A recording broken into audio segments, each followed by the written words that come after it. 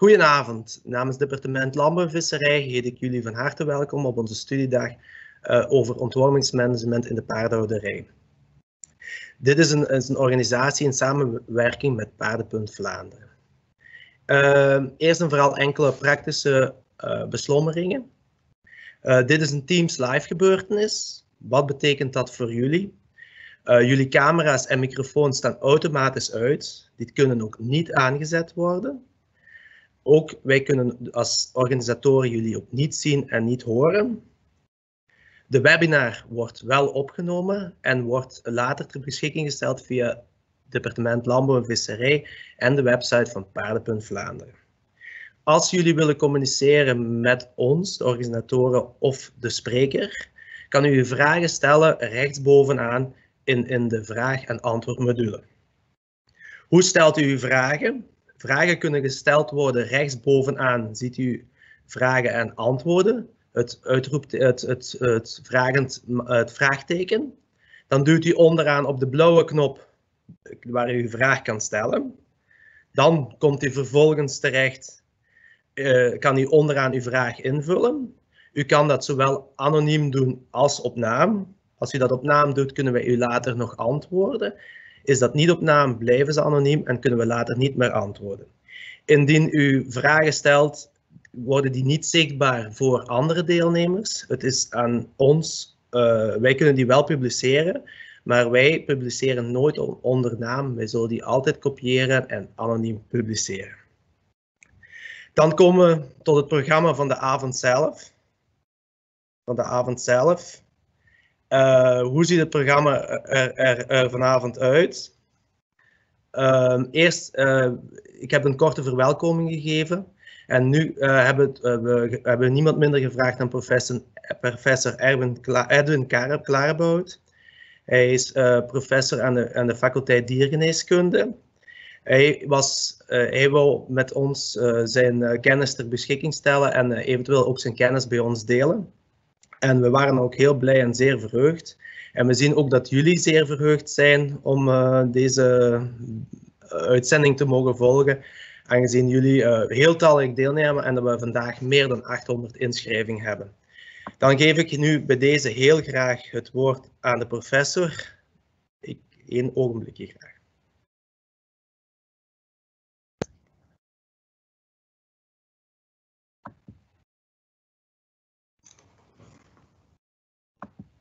Professor, graag het woord aan u. Dank u wel voor, uh, voor de uitnodiging om vanavond te komen spreken en ook voor de introductie. Uh, dames en heren, paardenhouders, misschien ook paardendierenartsen, ik weet het niet, uh, welkom. ik ga een woordje zeggen over het ontwormen van paarden. ik ga het eerst hebben een korte introductie geven over de belangrijkste maag-darmwormen bij paarden. Dan ga ik het meer specifiek hebben over de wormpreventie het weidebeheer, de preventieve ontworming en het monitoren van paarden aan de hand van mestonderzoek. Als we kijken naar het maag-darmstelsel van paarden, dan zijn, is dit een lijst van de meest voorkomende parasieten. We zien in de maag Trichostrongylus, Habronema, dat zijn twee parasieten waar ik het niet ga over hebben, omdat die zeldzaam zijn en uh, ook weinig problemen veroorzaken. Dus die sla ik over. Ik ga focussen op de darm. Eh, meer specifiek de dunne darmparasieten en de dikke darmparasieten. In de dunne darm, we gaan van, van boven naar beneden, ik ga eens kijken of ik hier een pointer heb, ja. Um, hebben we eerst in de dunne darm de veulenworm, Strongyloides westeri. Zoals het woord zelf zegt, is dat een parasiet van heel jonge veulens, van neonatale veulens eigenlijk tot, tot een paar weken oud. Ook in de dunne darm zitten de spoelwormen, Parascaris. Uh, die komen voor bij oudere veulens. Dan zitten we al bij enkele maanden tot pakweg een jaar leeftijd. We schuiven verder op naar achter en dan komen we bij de overgang tussen de dunne darm en de dikke darm, de iliocecale klep. En daar zitten lintwormen, Anoplocephala. We schuiven verder door naar achter, we komen in de dikke darm. En daar hebben we ook weer in het rood, en in het rood dat zijn eigenlijk volgens mij de belangrijkste, dus naast de spoelwormen in de dunne darm hebben we in de dikke darm ook heel belangrijke parasieten. Dat zijn de kleine strongyliden of Cyatostominae. De grote strongyliden, waarvan Strongylis vulgaris de belangrijkste is, die zijn op zich, ja, die waren heel belangrijk, die zijn heel gevaarlijk, maar die komen hier nauwelijks of niet meer voor. Daarom heb ik die niet in het rood gezet. ik ga daar vandaag ook maar heel kort iets over zeggen. En dan uiteindelijk, helemaal achteraan, hebben we de aarsworm Oxyuris equi. Ook die komt vandaag niet aan bod, omdat Strongylus en Oxyuris ehm, niet het voorwerp zijn van, van onze dagelijkse ontwormingsschema's en, en het monitoringprogramma. Dus nu ga ik die e-, eerst uh, één voor één de belangrijkste van die parasieten kort eens overlopen. We beginnen in de dunne darm bij de veulenworm Strongyloides westeri, waarvan de levenscyclus op de figuur rechts staat aangeduid. De belangrijkste punten daarvan staan, staan links in de tekst. Uh, heel belangrijk bij veulenworm is dat die verticaal wordt overgedragen. Dat wil zeggen van moeder naar veulen, uh, via de melk. Dus het veulen wordt initieel altijd besmet door larven die via de melk worden doorgegeven. Die worden dan opgenomen en gaan onmiddellijk rechtstreeks in de dunne darm van dat veulen ontwikkelen. Dat gaat snel. Na één week hebben we al volwassen wormen. Die, die zit je hier rechts bovenaan. Die gaan eieren produceren, de vrouwelijke wormen dan. In die eitjes daar zit een larve in. En die wordt natuurlijk met de mest, aangezien de wormen in de dunne darm leven, worden die eitjes met de mest uitgescheiden in de buitenwereld. Daar komen die larfjes uit het ei, gaan een paar keer vervellen en ook groeien. Oh, excuseer, die slide moest ik nog niet hebben. Tot het infectieuze stadium, dat zijn de L3-larven. Dat is bij de meeste wormsoorten zo. Het derde larvaire stadium, L3, is het infectieuze stadium. En die L3-larfjes die kunnen het veulen opnieuw infecteren door ofwel door de huid binnen te dringen bij het veulen, of door gewoon oraal opgenomen te worden door het veulen uh, bij het rondsnuffelen en het, en het likken. Die gaan dan weer uh, in de dunne darm terechtkomen. In het geval van die uh, binnendringen binnen de huid is dat via een omweg natuurlijk. Dan komen die eerst in de bloedstroom en dan via het hart en de longen uh, gaan die dan de longen binnendringen, omhoog kruipen, opgehoest, ingeslikt en uiteindelijk komen die dan terug in de dunne darm terecht. En na twee weken zijn dat weer volwassen wormen die weer eieren gaan uitscheiden. Nu, je dus de initiële infectie komt dus altijd van de merrie en daarna gaan de larven terug het veulen kunnen infecteren meestal door percutaan binnen te dringen. Maar een speciaal kenmerk van deze wormen is dat zij, hoewel het parasieten zijn, en dus in feite een gastheer nodig hebben, paard, uh, dat die toch ook een vrijlevende cyclus hebben. En dat zie je hier rechts onderaan de figuur. Wat wil dat zeggen, een vrijlevende cyclus? Dat wil zeggen dat de larven die uitgescheiden worden in de eitjes ook buiten het paard verder kunnen ontwikkelen tot volwassen wormen. Dus gewoon op de grond, in de mest, in de stal. Daar gaan zich ook nieuwe volwassen wormen ontwikkelen, die op hun beurt weer eieren gaan produceren, waar dan weer larfjes uitkomen, die gaan ontwikkelen tot het infectieuze L3-stadium. En waarom is dat belangrijk? Omdat dat wil zeggen dat zelfs zonder dat paard de worminfectie kan toenemen in de omgeving. En vandaar dat dat voornamelijk een probleem is op stal. De eerste reden daarvoor is omdat die jonge veulens, die neonatale veulens, met hun merrie uiteraard nog op stal staan, meestal toch. En de tweede reden is dat op een klein oppervlak, zoals een stal, die infectie van die larven, die gewoon onder zichzelf beginnen te kweken in de buitenwereld, veel sneller kan oplopen dan op de weide, waar dat die verspreid worden over een groter oppervlak. Dus heel jonge veulens, initieel besmet door de moeder, de infectie neemt toe in de stal en de veulens kunnen dan opnieuw besmet worden via de huid. Nu, dat klinkt, dat klinkt gevaarlijk, uh, maar het klinkt dramatischer dan het in de meeste gevallen is. In de meeste gevallen hebben we daar geen klinische tekens, bij nog bij de merrie, nog bij de veulens. Enkel als de infectiedruk te hoog wordt, dan gaan we bij die jonge veulens toch wel uh, klinische tekens zien. Nu, enerzijds kan dat zijn door de larven, de larvaire stadia die de huid binnendringen, dat kan jeuken. Die larvaire stadia die langs de longen migreren, dat kan eventueel ademhalingsproblemen ver veroorzaken. Uh, daar kunnen secundaire bacteriële infecties bij komen, zoals Rhodococcus equi. Maar meestal worden de symptomen toch vooral veroorzaakt door de volwassen wormen. En dat is dus in de dunne darm. Welke symptomen verwachten we van een parasiet in de dunne darm? Diarree. Dus diarree bij veulens van een paar weken oud uh, kan dus veroorzaakt zijn door die veulenworm. Die diarree die kan, die kan tot waterig zijn, maar het is niet zo erg dat die veulens daar gaan van doodgaan. Dat is heel zeldzaam. Nu, hoe gaan we de diagnose stellen? Wel, dat is de taak van uw dierenarts, die zich zal baseren enerzijds op de jonge leeftijd van die veulens, het feit dat die op leeftijd van 2, 3 weken al diarree hebben, en die kan de diagnose makkelijk bevestigen door de wormeitjes die uitgescheiden worden door die vrouwelijke wormen aan te tonen in de feestjes. Heel belangrijk dat dat verse feestjes is, verse mest. Want die eitjes, zoals ik al zei, daar zit al een larve in. Je kunt dat ook zien op die foto. Rechtsboven, dat zijn kleine wormeitjes en er zitten opgevouwen, opgekrulde LE-larven in. Als je die mest een paar dagen laat liggen, dan gaat die larve eruit vloepen uit dat ei en dan vinden die niet meer terug. Dus verse mest onderzoeken voor de diagnose van de veulenworm. En dan kan je gaan behandelen en de meest efficiënte behandeling tegen veulenwormen is ivermectine. Oeps. Ivermectine mag je nog niet gebruiken bij die jonge veulens. Dat mag maar vanaf vier maanden. Dus ivermectine is het product dat we hier gebruiken. Wat gaan we doen als preventie? Nu, preventie, waar gaan we preventieve maatregelen moeten nemen? Op bedrijven waar veel veulens of op ja, stoeterijen of bij particulieren waar regelmatig veulens worden geboren. Als je alleen maar volwassen paarden hebt, dan moet u van die veulenworm niks aantrekken. Want bij volwassen paarden veroorzaakt die geen problemen. Maar heb je regelmatig veulens, dan moet je met die veulenworm rekening houden. De beste preventie is een goede hygiëne van de stallen. Dagelijks de mest verwijderen is essentieel als controlemaatregel tegen die veulenworm. Want de eitjes die in de, in de mest van uw paard worden uitgescheiden, de mest van, van het veulen dan, is dat dan, die gaan heel snel op enkele dagen tijd infectieus zijn. Dus het is kwestie van niet te lang te wachten, want als je te lang wacht, als je die mest twee, drie, vier dagen laat liggen, dan heb je weer al infectieuze larven. Plus, die infectieuze larven kunnen ook buiten uw paard vermenigvuldigen, waardoor die infectiedruk heel snel kan toenemen. Dus hygiëne is de belangrijkste preventieve maatregel.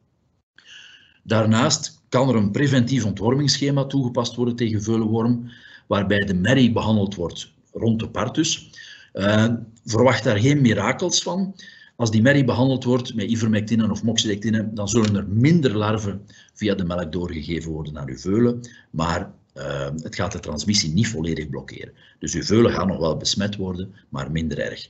Dus dat veulen moet dan ook nog behandeld worden. De eerste behandeling is op de leeftijd van 1 à 2 weken, want herinnert u, een veulen dat besmet is via de melk zal binnen de week al eieren uitscheiden. Dus die eerste ontworming na 1 of 2 weken. En dan om de 2 weken herhalen totdat dat veulen uh, een paar maanden oud is. Maar ik benadruk dat we dat enkel aanraden op probleembedrijven. En een probleembedrijf in deze context Daarmee bedoel ik dan een bedrijf waar er al waar er ten eerste veel veulens geboren worden en ten tweede waar er al problemen geweest zijn met veulenworm. Als jij nog nooit problemen hebt gehad met veulenworm en je hygiëne is goed van de stallen, die worden dagelijks uitgemest, dan is een, een preventieve ontworming van die jonge veulens en van de merrie bij de, bij de partus eigenlijk niet nodig.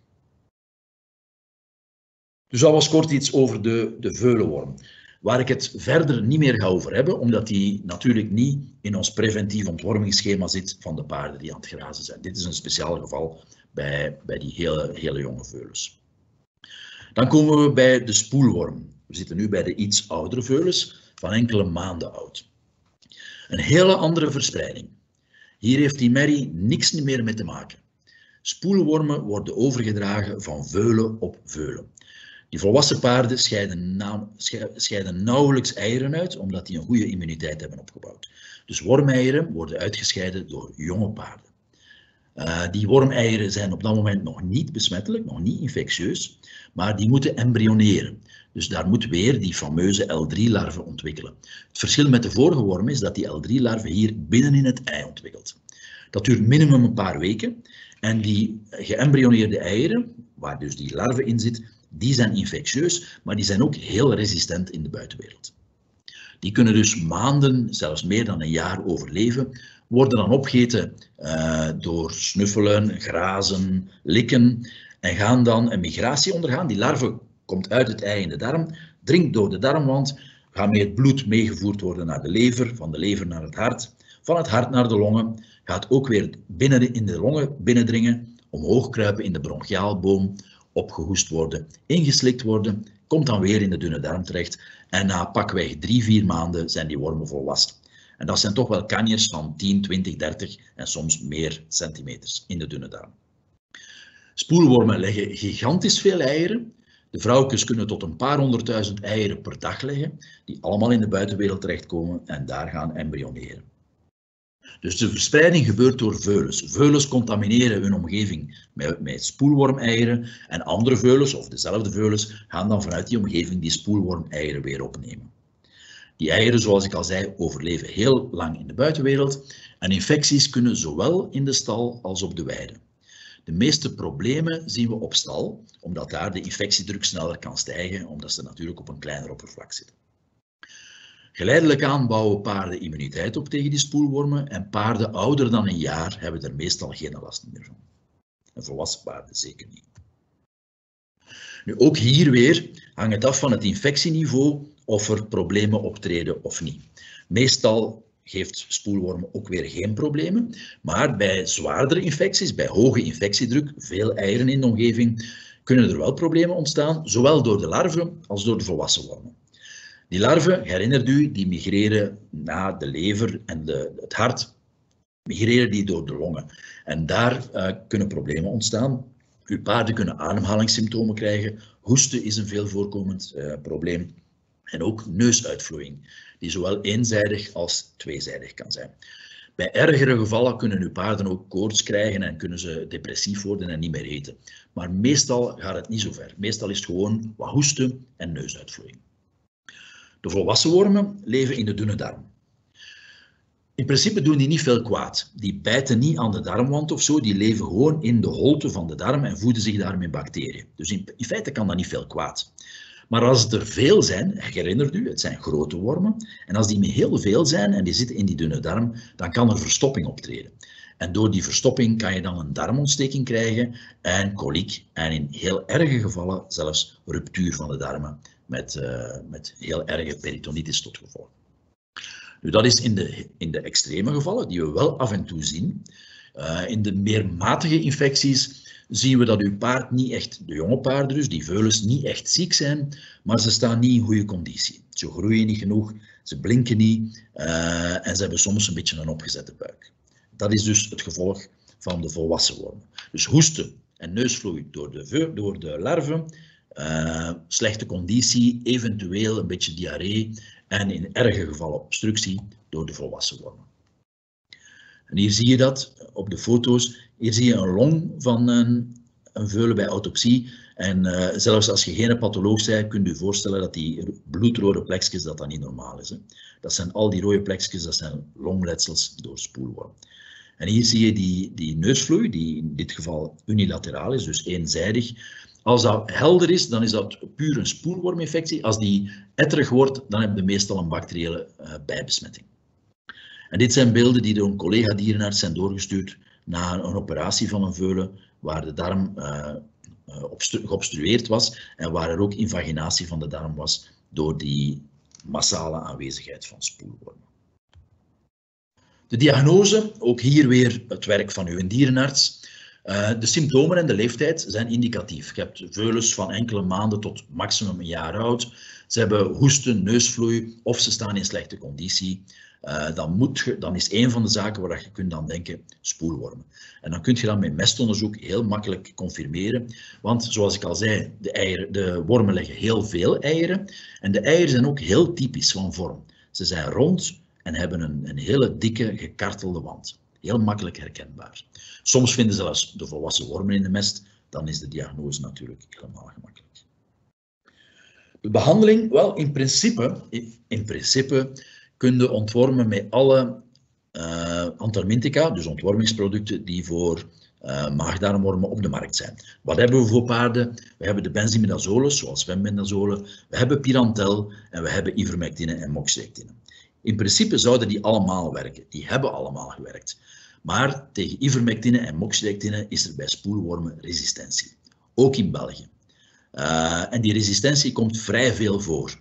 Dus bij spoelwormen heb je twee mogelijkheden. Ofwel gebruikt je een ander product, benzimidazoles of pirantel, of als je toch ivermectine of moxidectine wilt gebruiken, dan moet je checken of laten checken door je dierenarts of er geen resistentie aanwezig is. Wat gaan we doen als controlemaatregelen? Wel, weer hygiëne. Die mest uit die wei en uit die stal verwijderen. Hier, moet het, hier is de frequentie wat minder belangrijk, omdat het toch een paar weken duurt voordat die eieren embryoneren, maar toch zo frequent mogelijk, of toch regelmatig, die mest verwijderen. Als het een weideprobleem is, uh, dan wordt aangeraden van volgend jaar niet opnieuw veulens op die weide te zetten, maar een keer uw volwassen paarden op die weide te zetten en de veulens op een andere wei. Want die weide is besmet met spoelwormeieren. Spoelwormeieren overleven meer dan een jaar, dus volgend jaar is die weide nog altijd besmet. Als je dat dan weer veulens gaat opzetten, ja, dan creëert je opnieuw problemen.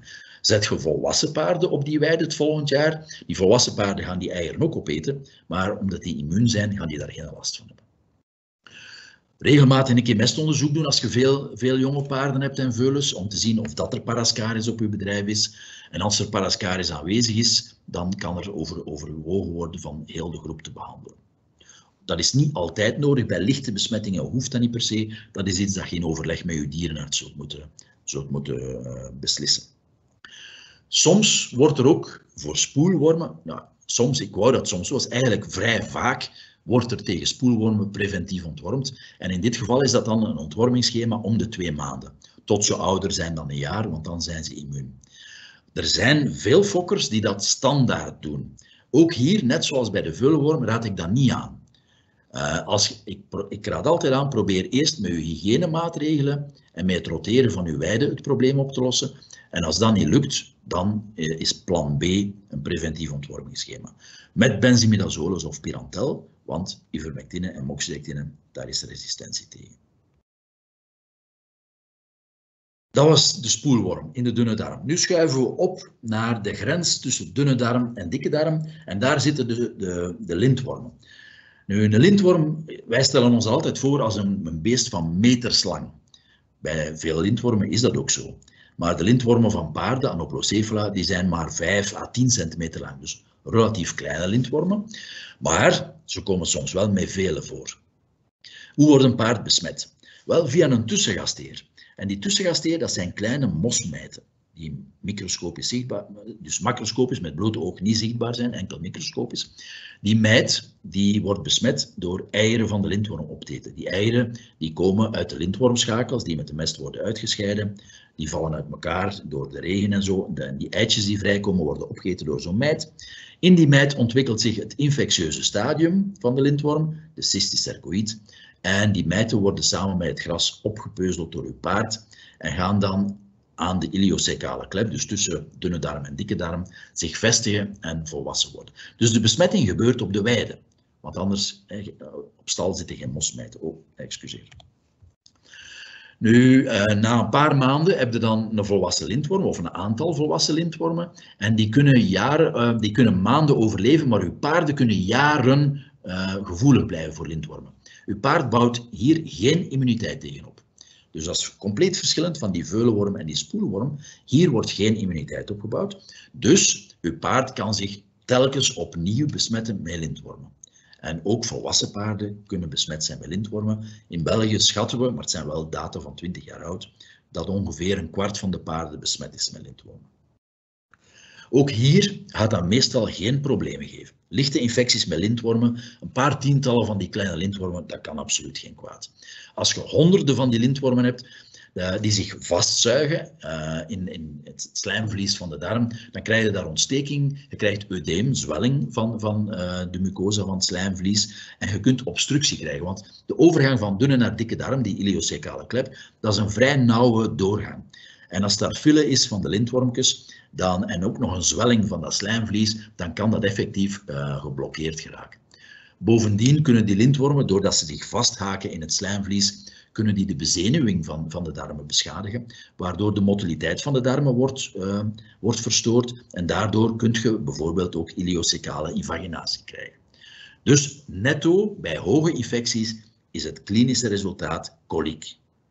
Dus lichte infecties geen probleem, zware infecties kunnen koliek geven. Hoe gaan we hier de diagnose stellen of laten stellen terug door de dierenarts? Wel, hier is mestonderzoek in feite niet zo betrouwbaar. Het is te zeggen, als we de lintwormeieren vinden bij mestonderzoek, dan zijn we wel zeker, want ze zijn heel typisch, dus vals positieve resultaten komen niet voor. Ze zijn heel typisch hoefijzervormig met een dikke wand en je kunt daar, als je onder een microscoop kijkt, kan uw dierenarts of het labo daar ook een, een, eh, een, een, een piriform apparaat in vinden. Ehm, dus een hoge specificiteit, je gaat geen vals positieve resultaten hebben, maar een lage gevoeligheid. Die varieert volgens de techniek die gebruikt wordt in het, labo, in het labo van 8 tot maximum 62 procent. Dat is niet goed. Gelukkig is er een betere test en dat is het aantonen van antilichamen tegen de parasiet in serum of in speeksel. Speeksel is uiteraard handiger, want dan moet er geen bloed genomen worden. Die test is commercieel beschikbaar en heeft een hele goede gevoeligheid en specificiteit. En infecties van meer dan 20 lintwormen gaan met die test nooit missen. Dus voor uw diagnose is eigenlijk de speekseltest beter dan mestonderzoek voor lintwormen. De behandeling, consulteer uw dierenarts en die zal één product aanraden, dat is praziquantel. Praziquantel werkt zeer goed tegen lintwormen en hier is het goede nieuws dat er nog geen resistentie is. Het slechte nieuws is dat uw paard zich wel gaat opnieuw besmetten na de behandeling. Want heeft geen persisterende werking. Uw paard blijft op die besmette wei staan, waar het krioelt van de mosmijten, en uw paard heeft geen immuniteit opgebouwd, dus die gaat zich herbesmetten. En een paar maanden later zit hij weer met volwassen lintwormen. Dus, oftewel moeten uw paard behandelen en opstallen, maar dat gaat, dat gaat in de meeste gevallen niet gebeuren natuurlijk, midden in het weideseizoen. Of we gaan tijdens het weideseizoen een keer of twee behandelen tegen lintwormen, als je weet dat er lintwormen op je weide zitten, waardoor dat je je paard niet kunt vrijhouden, want de cyclus van die lintwormen duurt maar een maand of twee, dus je zou in feite om de twee maanden moeten behandelen. Maar door één of twee keer tijdens het weideseizoen te behandelen tegen lintwormen, gaat er wel de uitscheiding van eieren reduceren en daardoor gaan er minder besmette mosmijten op uw weide zitten en gaat uw paard een lage besmetting hebben waar het geen last van heeft. In plaats van standaard één of twee keer te behandelen tijdens het weideseizoen, kunt je ook die speekseltest doen. En dan gaat het zien, als, als die speekseltest twee keer negatief is, dan zitten er geen lintwormen op uw wei of geen mosmijten. Is die speekseltest twee keer positief en heeft hij een vrij hoge waarde, dan kun je beter inderdaad behandelen. Ook hier weer mest verwijderen van de wei. Want als de mest van de wei is, dan, zit, dan, zit, dan zijn er geen wormeitjes waarmee die, die mijten zich kunnen infecteren. Dus hoe minder mest, hoe minder wormeieren op de wei, hoe minder geïnfecteerde mosmijten en hoe minder kans voor uw paard om zich te infecteren. Dus ook voor lintwormen, mest verwijderen, zeer goede maatregel. En dan, eens dat we die iliocecale klep gepasseerd zijn, komen we in de dikke darm. En daar zitten we bij de strongyliden. We hebben grote en kleine strongyliden. De grote, tot de jaren 70 was dat de schrik van de paardenliefhebber of de paardenhouder, Strongylus vulgaris, heel gevaarlijke parasiet. Uh, maar die komt nu nauwelijks nog voor. Nu zijn de kleine strongyliden daarentegen veel belangrijker. Er zijn tientallen soorten. Uh, ik ga de, die namen die hier staan, dat is zeker niet volledig, dat zijn maar een paar voorbeelden van veel voorkomende soorten. Uh, maar we groeperen die gewoon als één grote groep, de Cyatostominae. Waarom komen de grote strongyliden, die gevaarlijke Strongylus vulgaris, niet veel meer voor? Die heeft een hele uh, trage, langzame levenscyclus, die uh, meer dan een half jaar duurt. Dus dat wil zeggen, en die is ook heel gevoelig aan uh, ontwormingsproducten. Dus dat wil zeggen, als je ontwormt je paarden, dan is Strongylus vulgaris gegarandeerd dood. En het duurt heel, heel lang voordat die populatie zich kan herstellen. En aangezien er tegenwoordig vrij frequent wordt ontwormd, heeft Strongylus vulgaris, de grote strongylide, heeft gewoon de kans niet meer om, om zich te herstellen. In feite is dat een bedreigde diersoort geworden. De kleine strongyliden daarentegen, uh, die zijn wat vinniger, die hebben een veel kortere levenscyclus van maar een paar maanden. Dus tussen twee behandelingen heeft die populatie kans, meer kans om zich terug te herstellen. Bovendien zijn ze resistent aan benzimidazoles en zijn ook de larvaire stadia ook moeilijk te behandelen met andere ontwormingsproducten. Dus minder gevoelig voor ontwormingsproducten, kortere levenscyclus, vandaar uh, kunnen die zich sneller uh, recupereren en kunnen, kan die soort zich beter handhaven. Hoe geraakt uw paard besmet met die kleine, uh, die kleine de Cyatostominae? Weer door het grazen. Dus we zitten net zoals bij Parascaris. Parascaris, die spoelwormen kon op stal en op de weide. Lintwormen was op de weide. Hier, de kleine strongylide, is weer op de weide. En weer zijn het die infectieuze L3-larven die besmettelijk zijn. En die worden weer opgegeten bij het grazen. Van waar komen die?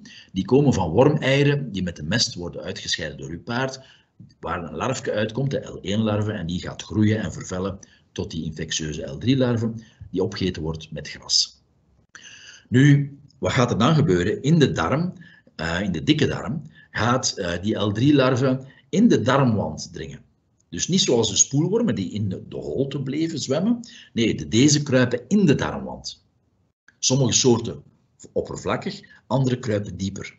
En in de darmwand gaan die zich verder ontwikkelen en vervellen tot L4 of L5 stadium. En dan terugkeren naar de darmholte om daar volwassen te worden. En die hele cyclus duurt ongeveer 2 tot 3 maanden. En die volwassen wormen gaan dan weer wormeieren uitscheiden. En zo kan tijdens het weideseizoen die cyclus meerdere keren doorgaan. Tijdens het weideseizoen. Op het einde van het weideseizoen gaan larfjes die opgeten worden, die, of voor ze opgeten worden, excuseer, gaan een koude prikkel krijgen in het najaar. Uh, en dat triggert bij hun uh, een mechanisme dat hypobiose wordt genoemd, of winterslaap. Larven die najaar worden opgegeten, die een koude prikkel gehad hebben, die gaan ook de darmwand binnendringen, net zoals normaal. Maar in plaats van dan verder te gaan ontwikkelen en vervellen, gaan die stoppen. Die gaan in winterslaap, hypobiose. Soms als L3, soms als L4, afhankelijk van de soort. En die wachten maanden, heel de winter. En op het einde van de winter worden die terug wakker gaan zich verder ontwikkelen, keren terug naar de holte van de darm en worden volwassen. Dat is in feite een mechanisme uh, voor die parasieten om de winter te overbruggen. Zodanig dat ze in het voorjaar volwassen worden en dan terug eieren produceren, die dan op de weide weer verder kunnen ontwikkelen tot infectieuze larven. Dus onthoud dat, ik kom daar straks op terug, die kleine strongeliden kunnen in winterslaap gaan in de, in de wand van de darm. Hoe evolueert nu de weidebesmetting? Uh, van de strongeliden. Want als ik het nu over weidebesmetting heb, uh, vanaf nu ga ik vooral focussen op die kleine strongeliden. Dat zijn de belangrijkste. Groen is de weidebesmetting. En de weidebesmetting wordt uitgedrukt als aantal infectieuze larven, die fameuze L3's, per kilogram gras. Wat valt erop? In het voorjaar is die hoog, die weidebesmetting. Hoe komt dat? Omdat die larven niet doodgaan in de winter. Veel, veel mensen denken dat die larven in de winter wel zullen doodvriezen, die sukkelaars. Vergeet het. Je kunt die invriezen in vloeibare stikstof, min 190 graden. Je kunt die achteraf jaren later ontdooien en je kunt daar terug beesten mee infecteren. Dus die overleven perfect de winter. Wanneer gaan die wel dood? In het voorjaar. Waarom? Die L3-larven die willen opgegeten worden. In het voorjaar, als het warm wordt, als de paarden weer beginnen grazen, worden die L3-larven actief. Die beginnen rond te kruipen op het gras, omhoog kruipen, want die willen opgegeten worden. Maar die L3-larven kunnen zich niet voeden, want daar zit een vervellingshuid rond. Dus een deel van die larven gaat zodanig veel uh, gesport hebben dat hun energiereserve opgeraakt en dat ze sterven. Dus het aantal larven gaat dalen. Bovendien groeit uw gras in het voorjaar.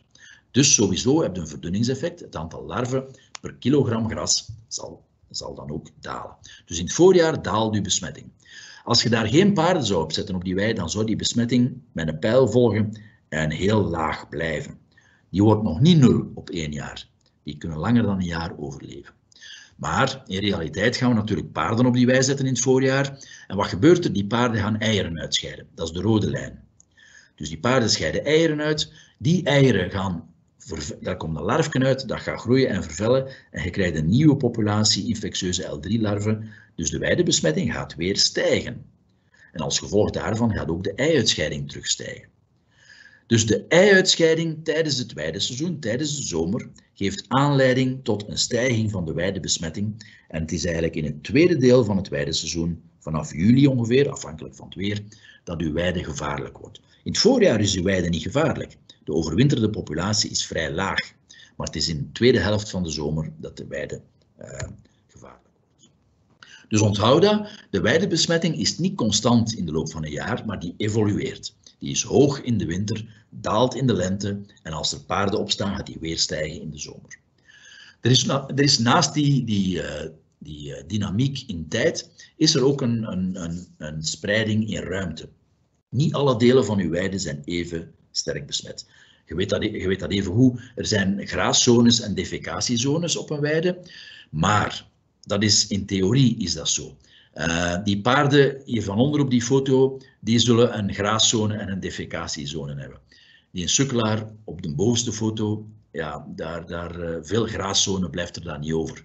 Dus als je een slechte kwaliteit van weiden hebt of overbezetting van je weide, dan gaan uw paarden gewoon de kans niet meer hebben om die, graas, om die uh, defecatiezone te vermijden, waardoor ze gaan grazen in de defecatiezone. En daar zitten natuurlijk de meeste larven, omdat daar met de mest de eieren naar buiten gekomen zijn. Uh, wat is nu het ziektebeeld? Dus we weten nu hoe de wormen zich verspreiden. Hè. Eieren worden uitgescheiden met de mest, ontwikkelen zich tot larfjes, worden opgegeten en worden dan volwassen en leggen weer eieren. Eventueel onderbroken door een winterslaap. Welke schade veroorzaken die wormen? De volwassen wormen zijn in feite het minst belangrijk. Die knagen wel wat aan de darmwand. Uh, je ziet dat, die, dat is hier nog een Strongylis vulgaris. Die heeft een heel groot mondkapsel met een tandenrij. Uh, dus, en hier van onder op die foto kunt je zien, dat is een, een, een uh, histologische weefselkoepen. En dit hier is eigenlijk een doorsnede van de mond van zo'n worm die echt een, een, een, stuk van de darmwand afbijt. Uh, dat zijn wormen van een paar centimeter groot, dus die kunnen redelijk wat schade aanrichten, maar ze zijn meestal met weinig. En zoals ik al zei, ze zijn sowieso zeldzaam geworden. De kleine strongeliden doen dat ook. Die doen juist hetzelfde, maar die zijn kleiner, dus die hebben ook een kleiner mondje, die gaan minder schade aanrichten, maar ze zijn wel met veel meer. Nu, meestal valt dat mee. De volwassen wormen zullen hoogstens aanleiding geven tot conditieverlies, soms een beetje diarree. Zijn vooral de larvaire stadia die gevaarlijk zijn. In het geval van Strongylis vulgaris veroorzaken die koliek, maar Strongylis vulgaris, omdat die zo zeldzaam geworden is, daar ga ik niet verder op in. Maar de larvaire stadia van de kleine strongliden, van de Cyatostominae, die veroorzaken wintercyatostominose. En aangezien de kleine strongliden hier wel nog veel voorkomen, in principe is elke weide besmet met kleine strongliden, het is te zeggen elke paardenweide, uh, daardoor is ook wintercyatostominose niet zeldzaam. Hoe ontstaat wintercyatostominose? Wel, niet door de volwassen wormen, want die, dat heb ik al gezegd, die veroorzaken eigenlijk redelijk weinig schade. Het is door de larfjes. Niet door de slapende larven, want die slapende larven die zitten, ja, ze zeggen het zelf, die zitten in hypobiose, in winterslaap. Die doen eigenlijk niks. Het is maar als die terug wakker worden, bijvoorbeeld in het voorjaar, uh, dat er schade gaat ontstaan. Waarom? Die larve wordt wakker, die gaat beginnen groeien, die gaat uit haar, kapsel breken en door de darmwand terug naar de darmholte uh, migreren. Uh, als dat er maar enkele zijn, honderden, kan dat geen kwaad. Maar als dat er honderdduizenden zijn, en als die vooral allemaal tegelijk terugkeren, dan krijg je een massale uh, beschadiging van de darm. Um, nu, en dat is dan die wintercytostominose. Die kan chronisch verlopen. Uh, oh, excuseer. Chronisch verlopen, dat is dan paarden die in de winter vooral uh, conditieverlies hebben, te mager staan, niet blinken. Soms doen die wat koliek, maar dat, dat hoeft niet. Die kunnen soms ook een keer diarree doen, maar die staan al sinds heel de winter in slechte conditie. Dat is de chronische vorm. Wanneer zien we dat? Een paard dat heel veel larven in zijn darmwand heeft, die gedurende de winter geleidelijk aan vrijkomen. Maar nog gevaarlijker is als die niet gedurende heel de winter vrijkomen, maar allemaal tegelijk. En dan krijg je de acute wintercytostominose met acute spuitende diarree. Soms heb je zelfs, maar dan is het een supermassale infectie. Ik heb zo onlangs een geval gezien van twee ponies. Sterven ze nog voordat ze diarree hebben door shock doordat die darm zo erg beschadigd wordt. Aan welke voorwaarden moet voldaan zijn om die wintercytostominose te kunnen hebben? Ten eerste, er moeten heel veel larven in de, in de darm zitten, want anders uh, krijg je die problemen niet. Dus, dat wil zeggen, die paarden moeten op een heel sterk besmette wei gestaan hebben. En ten tweede, uh, ze moeten op die weide gestaan hebben in het najaar, want anders gaan die larven niet in winterslaap. En ten derde, er moet een reden zijn waarom dat die allemaal tegelijk terug wakker worden. Dat kan een biologische reden zijn, de lente. Nu bijvoorbeeld, ja, ja, vandaag is een slecht voorbeeld. Of dat kan gewoon geïnduceerd worden door bijvoorbeeld stress. Een paard dat in de winter uh, iets voor heeft, manken of zoiets, en die moet naar de kliniek. Gewoon dat feit van stress in de kliniek kan triggeren dat al die larven vrijkomen en dat uw paard spuitende diarree krijgt de dag nadat er in de kliniek toekomt. Dus dat kan getriggerd worden. Links zie je een darmwand met enkele van die opgekrulde larfjes. Dat paard gaat er geen last van hebben. Rechts zie je een paard dat er wel al last zal van hebben. Daar ziet je heel veel. En je ziet op elke plaats waar zo'n larfje begint wakker te worden, krijg je bloedingen en krijg je ontstekingen. En hier links zie je een extreem voorbeeld van hele erge acute winterceelstominose. Uh, en rechts zie je dan de patiënt, uh, die in dat geval het wel overleefd heeft. Hoe kunnen we de diagnose stellen van winterceelstominose? Wel, om te beginnen aan de hand van uh, informatie over het weidebeheer en over het ontwormingsschema, kan de dierenarts inschatten of dat uw paarden op een sterk besmette wei gestaan hebben of niet. Als die zeker niet op een sterk besmette wei gestaan hebben, dan kan het geen winterciatostominose zijn. Als dat wel zo is, dan is winterciatostominose een mogelijkheid. We zien dat vooral bij paarden jonger dan drie jaar, maar niet altijd. En vooral van november tot april in de winter. Eventueel kan er bloedonderzoek gebeuren door uw dierenarts. Uh, bloedonderzoek kan indicatief zijn, maar is geen heel specifieke diagnose. Er zijn een paar zaken in bloedonderzoek die kunnen een belletje doorrinkelen. Bijvoorbeeld als het albumine-gehalte te laag wordt, uh, of als het beta-globuline-gehalte te hoog is, en vooral als die verhouding scheef zit. Als de verhouding albumine over globuline lager wordt dan 0,7, dan is dat toch een indicatie tezamen natuurlijk met de symptomen en met de leeftijd en de weidegeschiedenis, dat het zou kunnen gaan om winterciatostominose. En dan kunnen we gericht gaan zoeken. Wormeieren aantonen bij winterciatostominose heeft geen zin. Want het wordt veroorzaakt door de larvaire stadia, niet door de volwassen wormen. En larvaire stadia produceren geen, geen eieren. Dus we moeten de larfjes aantonen die vrijgekomen zijn uit de darmwand, die in het darmlumen zitten, in de darmholte, en die met de mest naar buiten komen. Sommige soorten zijn met het blote oog zichtbaar, de bloedwormpjes, zoals je hier op die foto rechtsonder ziet. Andere soorten, die vroeger, als, als een vroeger larvair stadium terug naar de darm komen, kunnen we met het blote oog niet zien. Daar moeten we microscopie voor doen. Maar de gevoeligheid van die techniek is laag en we hebben ook niet echt een grenswaarde om te zeggen, als we bijvoorbeeld meer dan 10 larven per gram mest vinden, dan is het. Zo'n grenswaarde hebben we niet.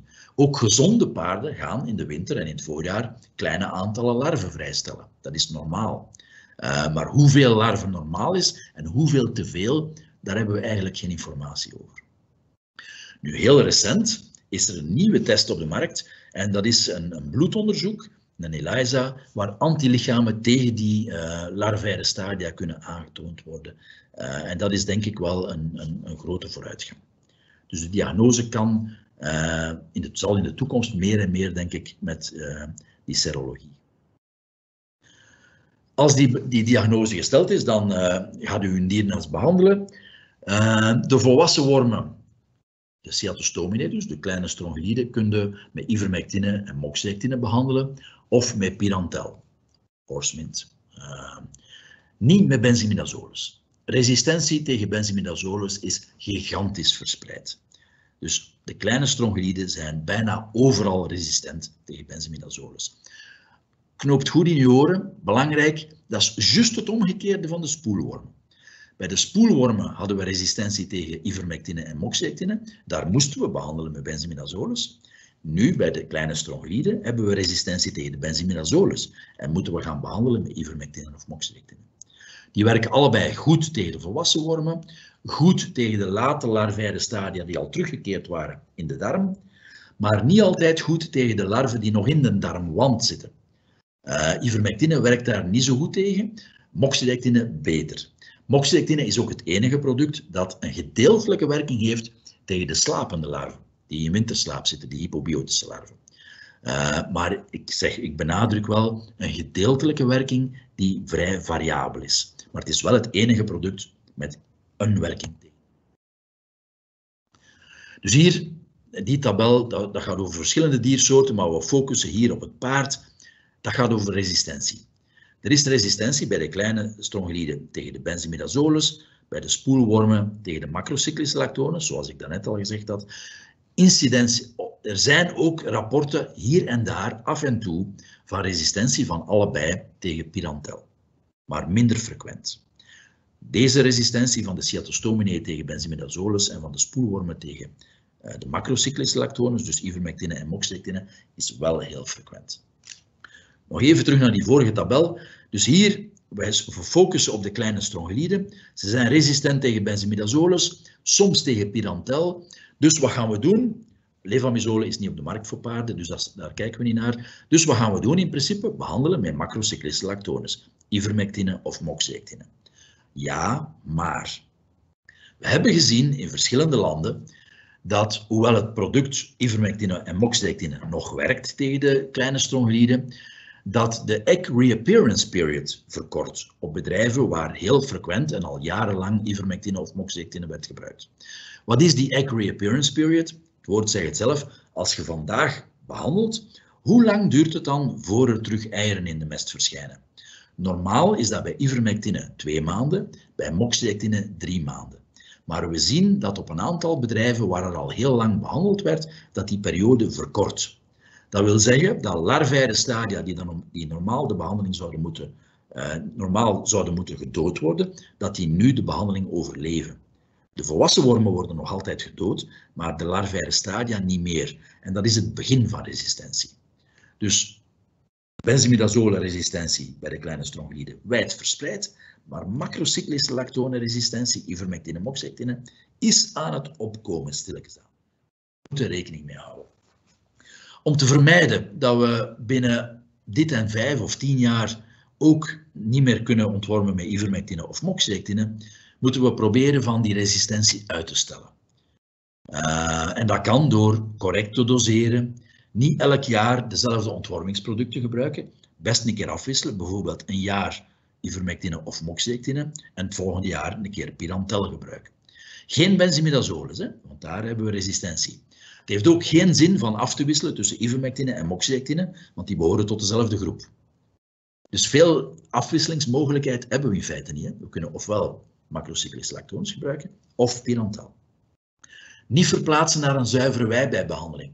Dat klinkt raar. Je zou juist pijzen, oké, ik behandel ze, ze zijn wormvrij, ik zet ze op een propere wei, bijvoorbeeld een nieuw ingezaaide wei, of een wei waar vorig jaar koeien gestaan hebben, en dan kan ik terug van nul beginnen met een propere lei. Dat klinkt verleidelijk, maar het is niet zo. Want geen enkel product werkt 100%. Dus je gaat je paarden behandelen. Uh, nee, pak nu dat 90 of 95% van de wormen gedood wordt. Die 5% die overleefd hebben, dat zijn resistente wormen. Je gaat je paard dan op een proper wijze zetten. Die resistente wormen in je paard gaan eieren produceren. En resistentie is een genetisch fenomeen. Dat wordt dus overgedragen naar de volgende generatie. Je krijgt dus op je nieuwe propere weide een 100% resistente populatie. Niet doen dus. Ook oppassen dat je geen resistentie binnenhaalt natuurlijk. Uh, nieuwe paarden in quarantaine zetten, behandelen voordat je ze in de groep steekt en liefst ook controleren of dat de behandeling gewerkt heeft met mestonderzoek. Dat mestonderzoek dat kun je gebruiken om af en toe een keer te testen of dat je niet meer resistentie zit tegen ja, zullen bijna zeker resistentie hebben, maar ook tegen de macrocyclische lactones. Men noemt dat een fecal egg count reductietest, waarbij mestonderzoek gedaan wordt voor de behandeling en na de behandeling. En in principe moet de ei-uitscheiding met 95% gereduceerd zijn. Als je maar een 60% reductie hebt bijvoorbeeld, dan zit er al mee een gedeeltelijke resistentie. En wat is nog belangrijk natuurlijk, om resistentieontwikkeling te vertragen, niet te dikwijls ontwormen. En dat principe wordt hier uitgelegd. Je hebt vier paarden, die produceren mest. En in die mest zitten wormen. Uh, wormeitjes in principe. Die gele zijn de resistente, de witte zijn de gevoelige. Ontwormt je paarden, wat blijft er over? Enkel de resistente. Het zijn dus ook enkel de resistente wormen zich kunnen voortplanten en dat is het resultaat op uw weide. Als je al uw paarden ontwormt, gaan alleen en frequent ontwormt, gaan vooral de resistente wormen overblijven en uw weide besmetten. Dus dat moeten we proberen te vermijden, uh, door minder frequent te ontwormen. Wat kunnen we dan nog doen voor preventie naast dat ontwormen? Ik kom zo dadelijk terug op dat ontwormen, maar eerst even benadrukken dat we ook andere dingen kunnen doen om worminfecties onder controle te houden.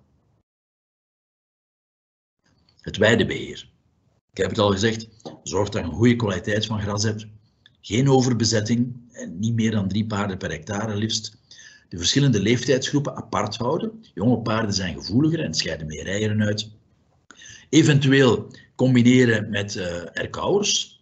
schapen of runderen oppassen op natte weiden, oppassen voor leverbot.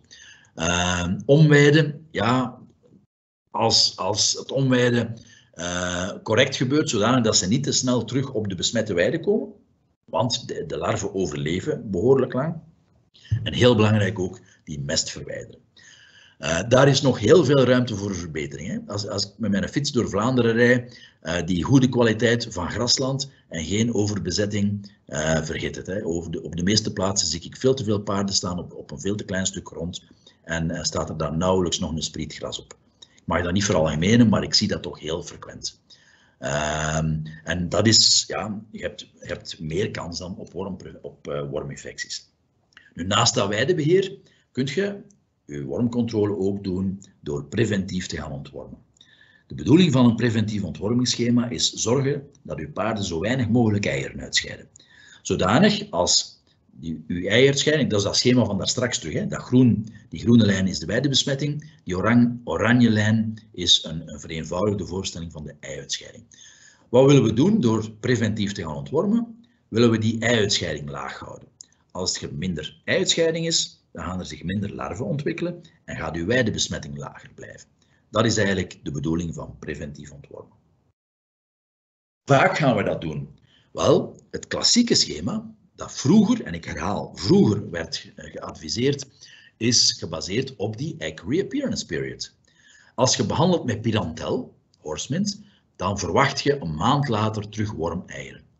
Uh, omdat pirantel enkel volwassen wormen doodt en geen enkel effect heeft tegen de larvaire stadia. Behandelt je met ivermectine, dan verwacht je na twee maanden terug wormeieren te vinden in de mest. Want ivermectine werkt wel goed tegen de volwassen wormen en tegen late larvaire stadia die al teruggekeerd waren in de darm. De vroegere larvaire stadia, die hebben niet mee. Dus die gaan zich dan ontwikkelen tot volwassen wormen. En na twee maanden heb je weer volwassen wormen die eieren uitscheiden. Bij moxidectine spreken we over een egg reappearance period van ongeveer drie maanden. Omdat die ten eerste werkt tegen vroegere larvaire stadia dan die andere producten. En ten tweede ook nog een beetje persisterende werking heeft. Dus dat product werkt ook iets langer. Oké. Gebaseerd op die reappearance period van één maand voor Pirantel, twee maanden voor ivermectine, drie maanden voor moxidectine, kunnen we dan een ontwormingsschema opstellen waarbij zo weinig mogelijk wormeieren worden uitgescheiden. En dat is heel simpel. Met ivermectine gaan we om de twee maanden ontwormen, aangezien die egg reappearance period twee maanden is. Met moxidectine gaan we om de drie maanden ontwormen, omdat de egg reappearance period drie maanden is. En dat doen we tijdens het weideseizoen, zodanig dat er geen eieren uitgescheiden worden op de weide, die zich dan gaan ontwikkelen tot infectieuze larven. Tijdens de stalperiode dit ontwormingsschema verder zetten heeft niet veel zin, want op stal kunnen die eieren zich toch niet ontwikkelen tot infectieuze larven. Nu, dat schema, dat preventief ontwormingsschema, daarbij wordt verondersteld dat je alle paarden tegelijk ontwormt. Maar dat ontwormingsschema is in de tijd uh, ontwikkeld voor risicoweiden. Dat wil zeggen een weide met veel paarden, waar ook veel jonge paarden bij staan, met een hoge ei-uitscheiding. En om op, zelfs op die hoge risicoweiden een, een, een soort van verzekering te bieden aan de eigenaar, dat er geen problemen zullen optreden, werden dus die ontwormingsschema's aangeraden. Maar omdat er zo vaak ontwormd wordt en omdat alle dieren ontwormd worden, is de selectiedruk voor resistentie natuurlijk zeer hoog. En het resultaat heb je daar straks gezien in de tabel. We zitten met resistentie. Wat kunnen we dan doen om uh, minder te gaan ontwormen? Uh, wel, dat is heel eenvoudig. Dat is uw worminfecties monitoren. Uh, door regelmatig mestonderzoek. En door regelmatig mestonderzoek te doen, kun je twee dingen onderzoeken. Ten eerste, wanneer moet ik behandelen? En dan heb ik het over de groep, over de kudde. Maar je kunt nog een stap verder gaan en dat is binnen de kudde gaan kijken welke dieren moeten wel behandeld worden en welke dieren moeten niet behandeld worden. Dan spreken we over individueel monitoren. Als we gaan monitoren met mestonderzoek, dan moeten we natuurlijk mest verzamelen. Het is belangrijk dat dat verse mest is. Dus ofwel pakt hij die rectaal, oftewel van de grond, maar pak dan de bovenste bol en geen mest die, die tegen de grond plakt, want dan gaat er heel veel vrijlevende wormen mee hebben. Op gras zit het vol met, met wormen die niet parasitair zijn voor je paard, maar als je die allemaal meeplukt, dan gaat dat heel lastig worden voor het labo om die te onderscheiden van de parasitaire wormen. Dat mestonderzoek dat kan dan gebeuren met verschillende technieken die in het labo worden uitgevoerd, maar daar ga ik hier niet op ingaan. Dan is de vraag, oké, we gaan mestonderzoek doen, we gaan ons, ons paarden monitoren. Kan ik daarvoor mengstalen gebruiken of moet dat op individuele stalen? Wat natuurlijk wel een prijsverschil maakt, hè, want uh, uiteindelijk voor een mestonderzoek ga je moeten betalen. En wat is de grenswaarde? Boven welke waarde moet ik wel ontwormen en daaronder moet ik niet ontwormen? En, en op welke basis beslis ik dan uiteindelijk of ik mijn paarden moet behandelen of niet? Eerst en vooral gaan we monitoren op groepsbasis. En dat dient dan om te kijken op welk tijdstip moeten we behandelen. Uh, daar heb je twee scenario's. Als je je paarden op de wei gezet hebt zonder te behandelen, dan zouden in feite regelmatig mestonderzoek moeten doen. Idealiter maandelijks. Maar dat gaat te duur uitkomen, is ook te veel werk. Dus als je dat vier keren doet tijdens een weideseizoen, dan ben ik in feite al redelijk content. Dus je gaat je paarden gewoon op de wei steken zonder ontwormen, regelmatig mestonderzoek doen en als de mestwaarde, de, de waarde van je ei-uitscheiding te hoog wordt, dan gaan we de groep ontwormen. Want we zijn aan het monitoring op groepsniveau. Als je je paarden wel behandeld had bij het buitensteken, bijvoorbeeld in maart of april, wanneer gaan we dan mestonderzoek doen? Op het einde van de egg reappearance period. Dus bijvoorbeeld hier in het groen staat het klassieke ontwormingsschema voor ivermectine, in het oranje voor moxectine. Wat je kunt doen is na één of na twee behandelingen de volgende behandeling niet doen en mestonderzoek doen in de plaats. Om te kijken of die behandelingen, die rood omcirkeld zijn, of dat die in feite nog wel nodig zijn. En het goede nieuws is, je kunt daarvoor mengmonsters gebruiken. Dus je kunt je mesttalen poelen. Maar er zijn een paar, je kunt dat natuurlijk ook met individuele mesttalen doen, maar dan gaat het u meer kosten. Je kunt dat met mengmonsters doen, maar er zijn een paar randvoorwaarden. Ten eerste, mengmonsters per leeftijdscategorie. Dus niet mengen tussen uw veulens, uw jaarlingen en uw volwassen paarden. Apart, jaarlingen apart, uh, paarden tot drie jaar en dan uw volwassen paarden. En maximum 10 stalen per leeftijdscategorie. Die gaan we dan goed mengen. Daar gaan we in het labo mestonderzoek van laten doen. En dan kun je een soort van cut-off waarde of grenswaarde gaan gebruiken. Als de waarde van dat mengstaal lager is dan 100 eieren per gram, die EPG, dat is het aantal eieren per gram mest, dan moet die groep paarden niet ontwormd worden. Zitten boven de 200, dan moeten zeker wel ontwormen. Zitten daartussen, dan zitten in een grijze zone. Dan moet je gaan afwegen, heb ik een risicoweide, dan zou ik voor alle zekerheid beter wel ontwormen. Is mijn weidebeheer goed? Goede, goede graskwaliteit, niet te veel paarden, mest wordt regelmatig verwijderd. Dat is een laag risicoweide. Dan kan ik het riskeren bij 150 EPG bijvoorbeeld van te wachten tot de volgende mestnaam.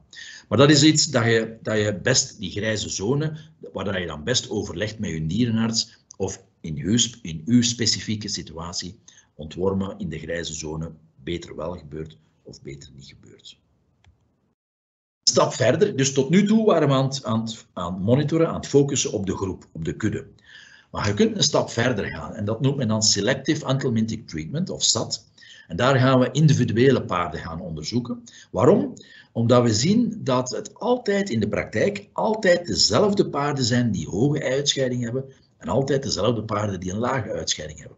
We zien hetzelfde bij runderen, we zien hetzelfde bij honden en we zien hetzelfde bij de mens. Dus dat is niet specifiek voor paarden. Maar dat wil wel zeggen dat er paarden zijn die altijd weinig eieren uitscheiden en die je dus in feite nooit zou moeten ontwormen. Ik zeg niet dat die geen wormen hebben. Ze hebben misschien heel veel larven in, in, de, in, de, in de darmwand, maar ze leggen geen eieren. En het is de ei-uitscheiding die we willen voorkomen met ons preventief ontwormingsschema. Dus in dit, in dit scenario hoeven we die niet te ontwormen. En dan krijg je dit. Weer die paarden. Omdat er ene heel veel wormen heeft, of eieren uitscheidt. Eigenlijk zouden eitjes moeten zijn. En de andere hebben, hebben er weinig. Je gaat alleen die ene ontwormen. Het resultaat is dat daar, in dat bovenste paard, alleen de resistente wormen zullen overleven. Maar je hebt die drie andere paarden niet ontwormd en daar overleven ook gevoelige wormen, waardoor in uw weidebesmetting een combinatie zal ontstaan van gevoelige en resistente wormen. En daardoor de resistentie trager zal ontwikkelen. Men noemt dat refugia. Refugia is gewoon het deel van uw wormpopulatie dat niet onder selectiedruk staat. Dus een paard dat niet behandeld wordt, alle wormen die daarin zitten, staan niet onder selectiedruk. Dus dat is refugia. Ook alle larfjes op de weide trouwens, uw weide wordt niet behandeld, ook die maken deel uit van de refugia. Refugia betekent letterlijk het deel van de wormpopulatie dat ontsnapt aan de selectiedruk. En hoe groter dat deel is, hoe trager resistentie zal ontwikkelen. Opgelet, als we individuele meststalen onderzoeken, dan is onze cut-off wat anders. Hier gaan we alles onder de 200 niet ontwormen. Alles wat boven de 500 EPG zit, moet zeker wel ontwormd worden. En daartussen zitten we weer in een grijze zone.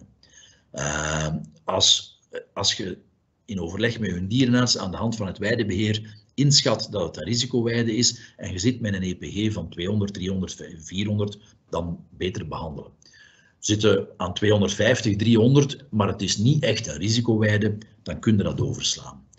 Het hangt niet alleen van dat risiconiveau af, het hangt ook af van de frequentie van, van mestname natuurlijk.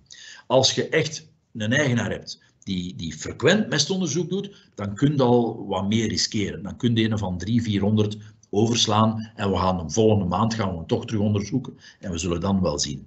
Als je daarentegen maar een paar keer per jaar mestonderzoek doet en je zit aan 400 dpg, dan zou ik het niet riskeren van te wachten tot de volgende keer. En dan zou ik wel degelijk behandelen.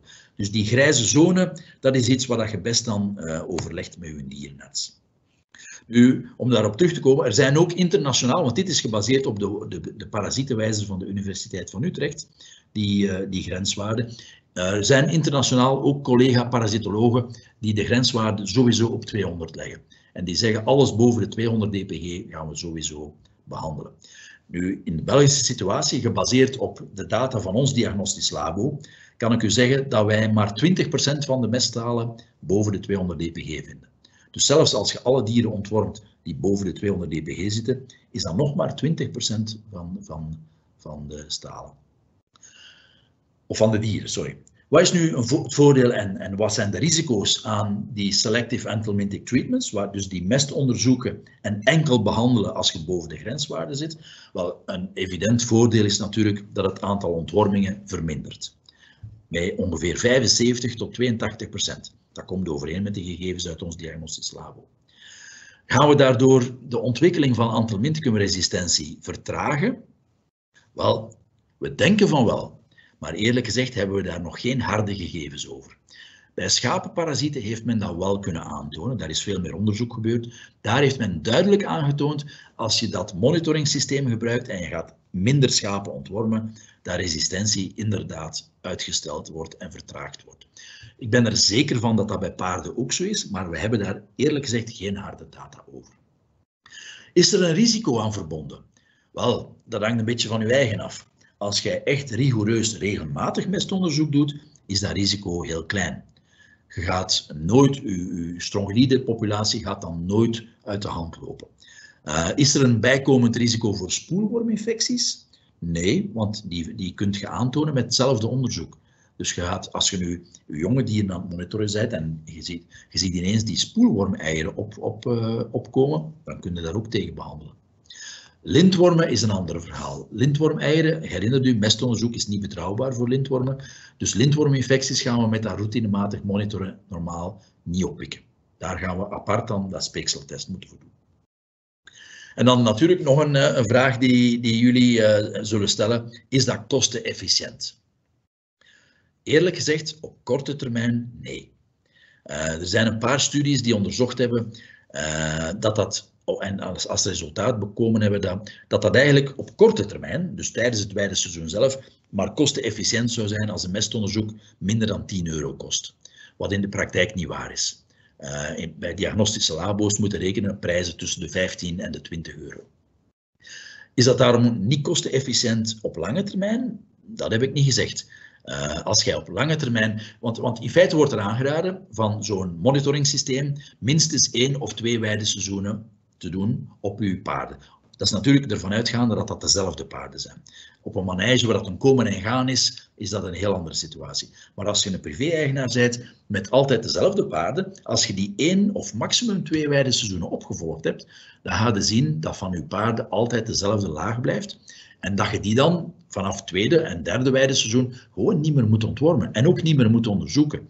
En vanaf dan kan het natuurlijk wel kostenefficiënt worden als je en niet moet ontwormen en niet moet onderzoeken. Uh, maar tijdens dat eerste of tweede weideseizoen zal het niet kostenefficiënt zijn. Om af te sluiten, dit is een schemaatje dat ik wel uh, interessant vind. Dat is uh, opgesteld niet door mij, maar door de firma die die speekseltest voor lintwormen en die bloedtest voor de wintercytostominose heeft op de markt gebracht. En dit is gewoon een kalenderjaar, hè, klokwijzerzin van januari naar december. In het groen zie je de periode waar we mestonderzoek zouden moeten doen om te monitoren voor de, voor de. Hier raden ze drie keer aan. Ik raad eigenlijk vier keer aan. Van pakweg uh, maart, april, wanneer ze de, de wei opgaan, tot in het najaar. In het zwart zie je twee periodes waar ze aanraden van de speekseltest voor lintwormen te doen. Uh, een keer in, in, het, in, het, voorjaar en een keer in het najaar. En in het rood zie je de periode hier waar ze aanraden van de bloedtest te doen voor de, de larven van de Cyatostominae. Dat is volgens mij niet standaard nodig. Want als je monitort uw mestonderzoek monitort tijdens het weideseizoen en je ontwormt wanneer het nodig is en daarboven een goed weidebeheer doet, dan gaat uw weidebesmetting laag blijven. En als uw weidebesmetting laag blijft, dan kunt je geen grote populatie van larvaire uh, kleine strongeliden hebben. En dan is die een test in feite ook niet nodig. Uh, en daar ga ik het bij houden. Uh, als jullie vragen hebben over de presentatie of over uh, onze diagnostische service, Wormiscope, dan kunnen ze mij nu stellen of achteraf per e-mail. Uh, is natuurlijk ook nog mogelijk. Ik dank u alvast voor uw aandacht.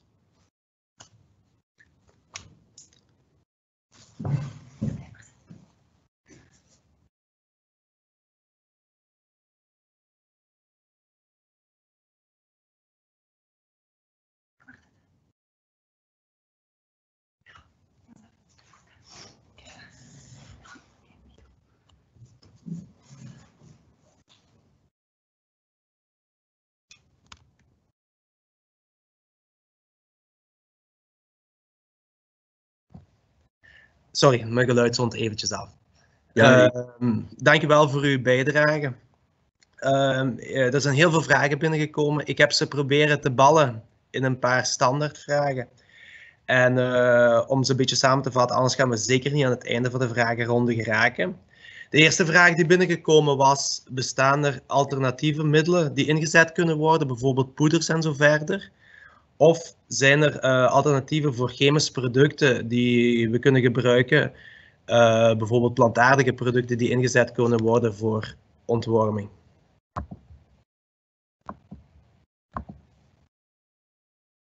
Ben ik nu. Ja, kan u mij horen nu? Ja. Oké. Okay.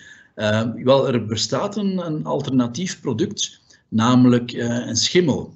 Eh, dat zijn schimmels die ehm, als sporen worden opgegeven oraal aan de dieren, paarden of, of erkauwers. Die sporen overleven de passage door het maag-darmstelsel, worden uitgescheiden in de mest en ontwikkelen daar een, een schimmel, uh, ja, hoe moet ik het zeggen, vangnet, waarmee de larven van de, van de, van de wormen worden gevangen effectief en, en gedood worden. Uh, een nadeel van dat systeem is dat het dagelijks moet gevoederd worden. Nu, in Australië is dat op de markt. Uh, ik denk in de UK ook, hier voorlopig nog niet, maar ik denk dat ze wel met een registratiedossier bezig zijn bij, de, bij het Europees Geneesmiddelenagentschap. Dus ik vermoed dat dat binnenkort op de markt zal komen.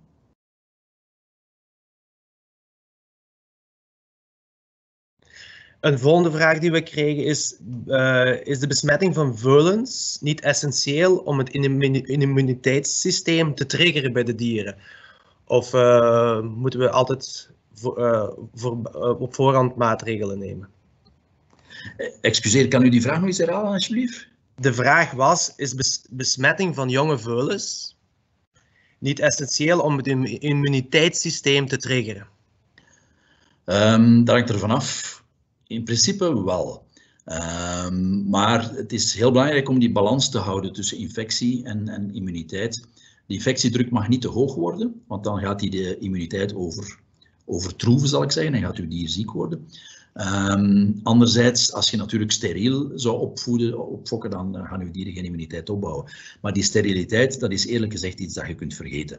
Uh, in, in, realiteit, zelfs met goede hygiënische maatregelen en een goed weidebeheer, gaat je nog altijd cytostominae-infectie op je weide hebben. waardoor uw dieren nog altijd wel geleidelijk immuniteit gaan opbouwen. Zeker als je, het, als je het systeem gebruikt van targeted treatment, dus die monitoring, uh, op groepsniveau of individueel niveau. Daarentegen, als je bij, bij je paarden, vanaf de jonge paarden, standaard uh, het ontwormingsschema, het oude ontwormingsschema, rigoureus gaat toepassen zonder te monitoren, dan gaat je veel frequenter ontwormen en gaat die immuniteitsopbouw trager gaan. Nu, een kanttekening die ik daar, daar, straks vergeten te vermelden ben, is dat dat individueel monitoren van die paarden, dat is eigenlijk alleen gevalideerd voor volwassen paarden. Uh, dus bij jongere dieren tot 2, 3 jaar is dat nog nooit gevalideerd naar veiligheid toe. Nu, persoonlijk maak ik mij daar niet te veel zorgen over, op voorwaarde dat je daar frequent genoeg monitort. Maar met drie, vier keer per weideseizoen ga je er bij de heel jonge dieren, 2 tot 3-jarigen, volgens mij niet komen. Dus daar ga je ofwel frequenter moeten monitoren, ofwel het klassieke ontwormingsschema gebruiken en dan overstappen op monitoren eens dat ze drie jaar zijn. Dus de vraagsteller heeft gelijk. Je hebt inderdaad contact nodig om immuniteit op te bouwen. Maar als je enkel de dieren ontwormt die boven de grenswaarde komen, dan gaan de, de dieren nog altijd een weidebesmetting hebben waar ze immuniteit mee opbouwen zonder ziek te worden. Een volgende vraag was, zijn bepaalde rassen gevoeliger voor worminfecties dan andere of is dat ras onafhankelijk? Geen idee. Ik heb daar nog, nee, dat is, uh, ik heb daar nog nooit studies van gezien die dat aantonen. Nee, dus uh, ik heb daar geen gegevens over. Dan waren er een heel, heel rijtje met uh, vragen um, over weidegang, zal ik maar zeggen. Hoe zit het met overleving van wormeitjes in, in een mesthoop? En en is deze mest dan ook veilig om te gebruiken voor bemesting van de weides? Het gaat een stukje eigenlijk over het composteren verhaal en zo verder. Um, in verse mest, verse mest is niet veilig, dat is duidelijk. Uh, gecomposteerde mest waarschijnlijk wel. Uh, op voorwaarde dat die, dat die goed gecomposteerd is. Dat wil zeggen een voldoende hoge temperatuur tussen de 55 en de 65 graden Celsius gedurende een voldoende lange tijd. En ik ken maar één studie in de Verenigde Staten waar ze dat effectief in veldomstandigheden op een commercieel bedrijf getest hebben. En die resultaten waren bemoedigend. Na één week waren alle wormeieren dood. Dat ging specifiek over de spoelwormeieren, maar dat zijn de, de taaiste. Als je die kapot krijgt, dan zijn strongliedeneieren volgens mij zeker ook dood. Er is een project lopende momenteel, uh, uh, gefinancierd door de Vlaamse overheid, waar we dat, waar we dat aan proberen uittesten zijn, zowel op, op, bij een paar paardenhouders als onder experimentele omstandigheden. Uh, we hebben, de resultaten zijn nog niet finaal. Uh, we hebben het voorlopig dus nog niet kunnen bevestigen. Maar ik ben er behoorlijk gerust in dat als je een goede compost hebt, dat na enkele weken uw wormeieren dood zijn. Bij fermentatie uh, hebben we die gegevens niet. Dus daar weet ik het niet. Bij fermentatie gaat de temperatuur minder hoog. Uh, daar is vooral een pH-wijziging als ik, als ik het uh, goed voor heb. En daar weten we het niet. Uh, ik zeg niet dat het geen effect heeft op de worminfecties, maar ik heb daar nog geen harde data van gezien. Ik weet dat sommige firma's daar reclame mee maken, dat hun fermentatie de wormen afdoet, maar ik zou graag de, de gegevens zien die dat, die dat bewijzen. Misschien een vraagje waar daar deels mee aansluit is, uh, als de, mesthoop langs uw weide ligt, hoe ver kunnen die wormen, zijn de bewegelijkheid van die wormen, hoe ver zou die eigenlijk, welke afstand kunnen die diertjes afleggen? Ah, dat is een, een goede vraag. Uh, niet ver eigenlijk. Um, dus de, de larven ontwikkelen zich in de mestballen zelf. Dus ah, dan heb ik het over de weide, niet over de mesthoop, maar dus in de mestbal. En eens dat, dat ze daar het L3-stadium bereikt hebben, gaan ze actief migreren vanuit die mestbal, maar dat gaat maar over enkele tientallen centimeters.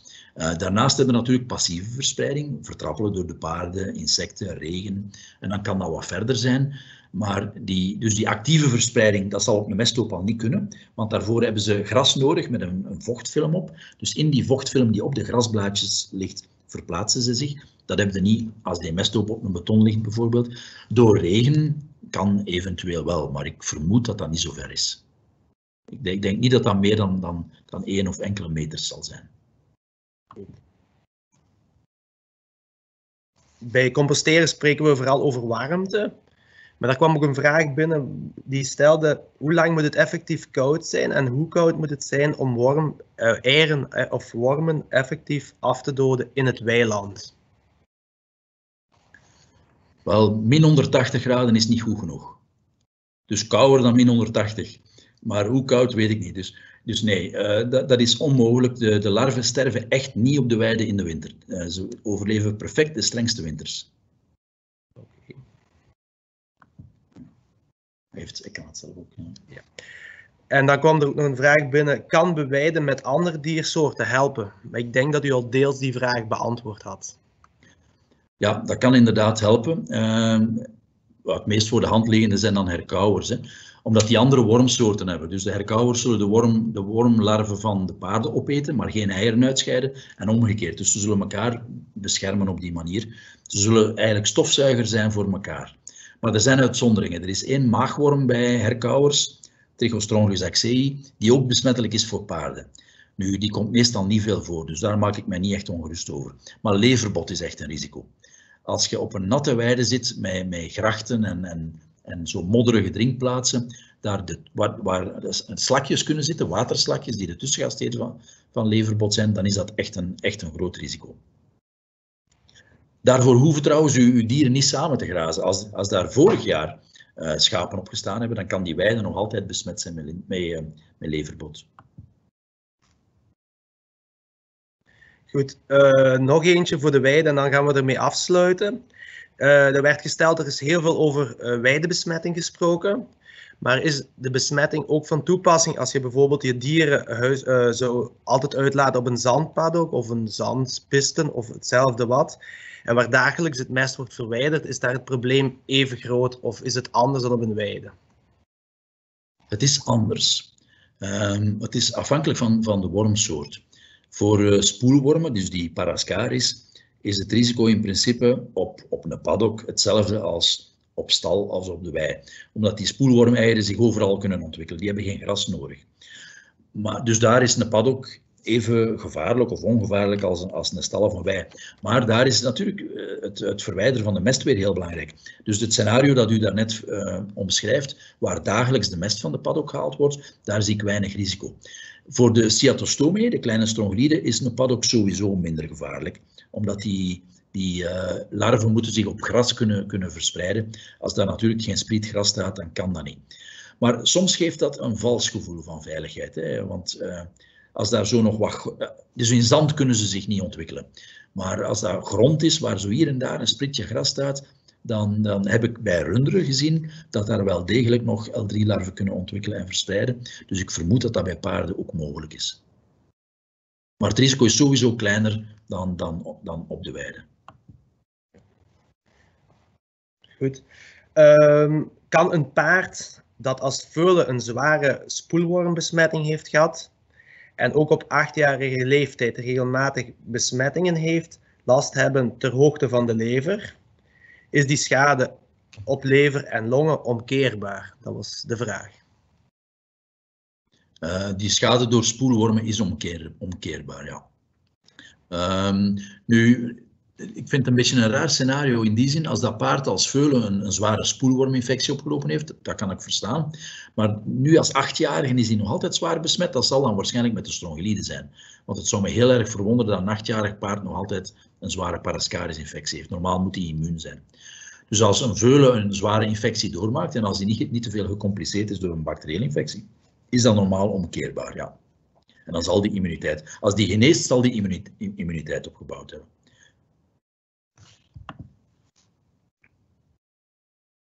Dan een vraag van een collega dierenarts. Waar kan u een speekseltest voor lintwormen uitgevoerd worden?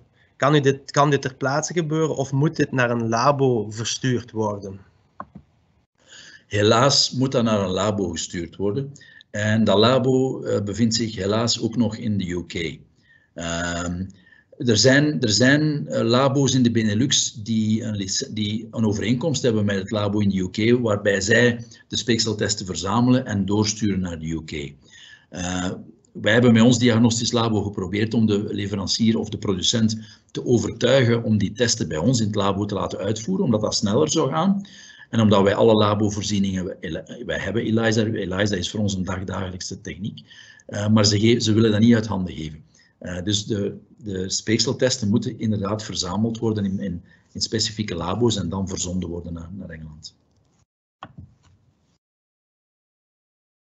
Dan een vraagje uh, over allergieën.